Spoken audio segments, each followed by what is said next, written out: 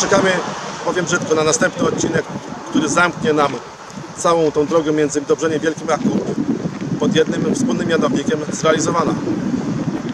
Zostało jeszcze ten półtora kilometrowy odcinek od tego miejsca, gdzie to tak skończyli do wiaduktu. Do wiaduktu. To To jest trzeci etap, który powinien być zgodnie z obietnicami zrealizowany w następnym roku. Co roku coś.